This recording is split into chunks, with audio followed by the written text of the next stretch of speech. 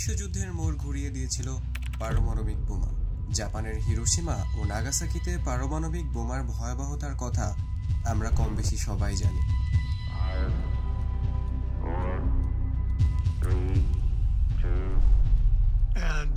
all of a sudden,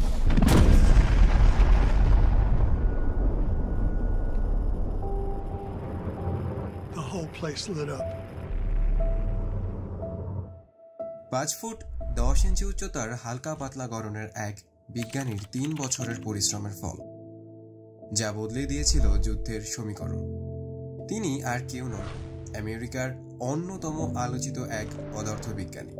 দু হাজার তেইশ সালের সবচেয়ে আলোচিত সিনেমার একটি ছিল ওপেন হেইমার ছবিটির পরিচালক ক্রিস্টোফার নোলান। তিনি ওপেন হেইমারকে তার ক্যারিয়ারের সবচেয়ে সফল সিনেমা বলে আখ্যা দিয়েছেন।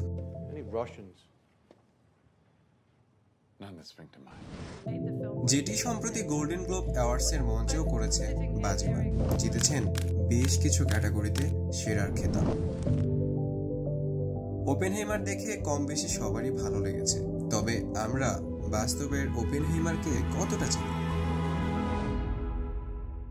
চলুন এনি স্টোরিজের আজকের পর্বে জেনে আসি পারমাণবিক বোমা তৈরির এই খ্যাপাটে বিজ্ঞানী সম্পর্কে. Robert Oppenheimer was the father of the atomic bomb. He was this complex ball of contradictions.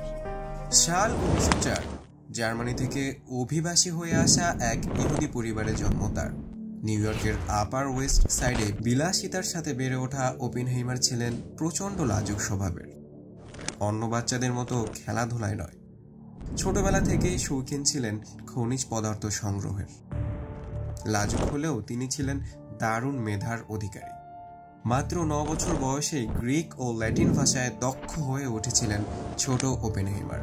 Harvard বিশ্ববিদ্যালয়ে রসায়ন নিয়ে পড়াশোনা শেষে স্নাতকোত্তর পড়াশোনা করতে যান ইংল্যান্ডের ক্যামব্রিজে।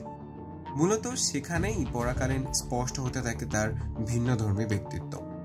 একটি ঘটনার কথা উল্লেখ না করলেই নয়। ক্যামব্রিজে তার এক শিক্ষক চাইতেন, ওপেনহেইমার যেন ল্যাবরেটরিতে কাজ করেন। কিন্তু তা তার মোটেও পছন্দ ছিল না। ফলে শিক্ষকের উপর বিরক্ত হয়ে একদিন একটা আপেলের ভেতর বিষাক্ত রাসায়নিক পদার্থ ভরে তার শিক্ষকের ডেস্কে রেখে দিয়েছে।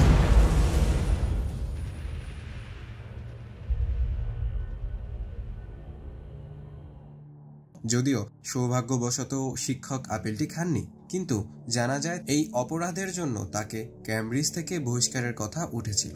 সবশেষে তাকে নাকি থাকতে দেওয়া হয়েছিল এই শর্তে। যে ওপেনহাইমার সাইক্রিয়াট্রিক ডাক্তার দেখাবে। ওপেনহাইমারের সাইকোসিস রোগের কথা সে সময় উঠে আসে। উনিশশো ছাব্বিশ সালে জার্মানির তাত্ত্বিক পদার্থবিদ্যা ইনস্টিটিউটের এক পরিচালকের সাথে দেখা করেন ওপেনহেইমার। তারপর থেকেই পদার্থবিজ্ঞানে তার পথ চলা শুরু। দু হাজার পাঁচ সালে আমেরিকান প্রমিথিউস নামে ওপেনহেইমারের জীবনী লেখেন ইতিহাসবিদ কাইবার্ট ও মার্টিন জে শেরউইন সেখান থেকে জানা যায়, দ্বিতীয় বিশ্বযুদ্ধ ও আমেরিকানদের পরমাণু বোমা তৈরির সফল প্রয়াসে বিজ্ঞানী রবার্ট ওপেনহেইমারের অবদান। উনিশশো বিয়াল্লিশ সাল নাগাদ আমেরিকানদের কাছে যখন স্পষ্ট হয়ে যায় যে পারমাণবিক বোমা তৈরি করা সম্ভব, সে সময় এই বোমা তৈরির প্রকল্পের প্রধান বিজ্ঞানী হিসেবে ওপেনহেইমারের নাম প্রস্তাব করা হলে বেশ কিছু আপত্তি উঠেছিল। কিন্তু তার জ্ঞান এবং বিশ্বস্ততার কারণে এই প্রকল্পের সামরিক নেতা জেনারেল লেসলি গ্রোভস তাকে নেবার পক্ষে মত দেন। উনিশশো পঁয়তাল্লিশ সালের ষোলো জুলাই দিনটি ছিল ওপেনহেইমারের জীবনের সবচেয়ে গুরুত্বপূর্ণ মুহূর্ত। কারণ সেদিন যুক্তরাষ্ট্রের নিউ মেক্সিকো অঙ্গরাজ্যের একটি মরুভূমিতে বিশ্বের প্রথম পারমাণবিক বোমার পরীক্ষা হতে যাচ্ছে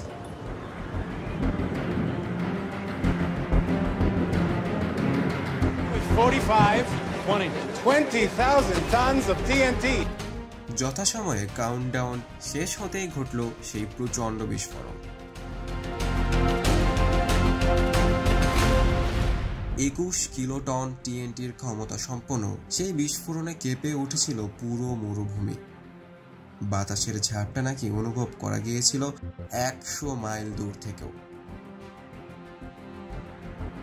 পরবর্তীকালে উনিশশো ষাট এর দশকে এক সাক্ষাৎকারে পারমাণবিক বোমা নিয়ে নিজের অনুভূতির কথা জানিয়েছিলেন তিনি।